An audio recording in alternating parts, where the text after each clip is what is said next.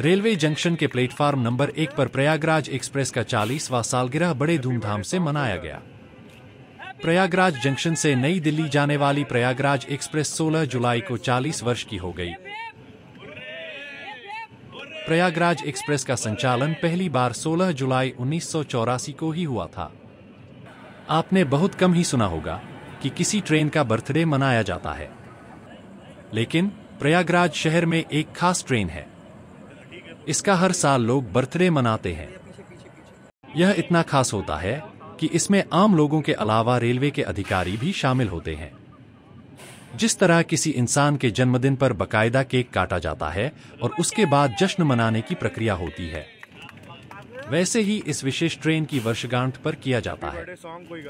इस मौके पर ट्रेन चलाने वाले लोको पायलट गार्ड को भी सम्मानित किया गया।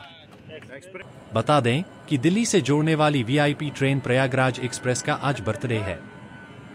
सन उन्नीस सौ चौरासी को यह ट्रेन पहली बार संगम नगरी से दिल्ली के लिए रवाना हुई थी। 40 वर्ष के बाद आज ही प्रयाग प्रयागराज वासियों सहित अन्य जगहों के लोगों के लिए यह ट्रेन खास है। दिल्ली जाने वाले लोगों में शायद ही कोई ऐसा होगा जिसने इस ट्रेन में सफ़र न किया हो। सबसे बड़ी बात यह है कि सुविधा, सुरक्षा टाइमिंग स्पीड हर चीज़ में यह ट्रेन नंबर वन है।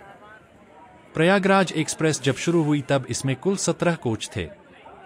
उस दौरान इसका उद्घाटन तत्कालीन मंत्री राजेंद्र कुमारी वाजपेयी ने किया था।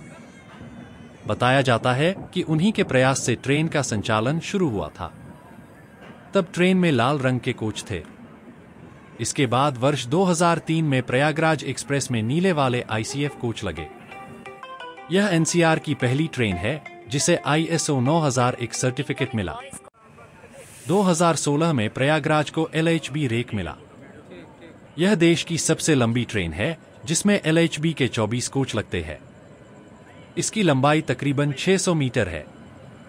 खास यह भी है कि इलाहाबाद में हाई कोर्ट और गंगा यमुना की संगम की ख्याति के कारण बड़ी संख्या में लोगों का दिल्ली से प्रयागराज रोज़ाना आना होता है। विदेशी सैलानी भी दिल्ली उतरने के बाद प्रयागराज आने के लिए विभिन्न विकल्प ढूंढते हैं। अभी तक प्रयागराज से दिल्ली जाने वाली ट्रेन ने अपना स्थान नंबर वन बनाया है। आज इस मौके पर पूरी ट्रेन को दुल्हन की तरह सजाया गया था। केक काटने के बाद समय से हरी झंडी दिखाकर इसे रवाना किया गया। ट्रेन के 35 वर्ष पूर्ण होने के अवसर पर प्रयागराज एक्सप्रेस पर एक डॉक्यूमेंट्री, मैं प्रयागराज एक्सप्रेस भी बनाई जा चुकी है। खास बात यह है कि प्रयागराज एक्सप्रेस एनसीआर की सबसे ज़्यादा कमाई करने वाली ट्रेन है।